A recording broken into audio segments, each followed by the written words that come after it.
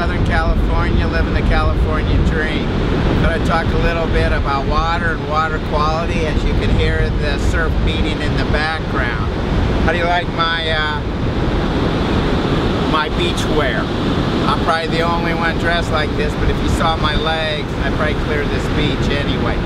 But the gist of this, this video is, when it comes to turf grass, it's not only just the availability of water, but the quality of water. And behind us, the vast majority of water in the world is salt water. And for most of the areas where we water turf, a lot of it's extremely poor quality or high in salts like this salt water.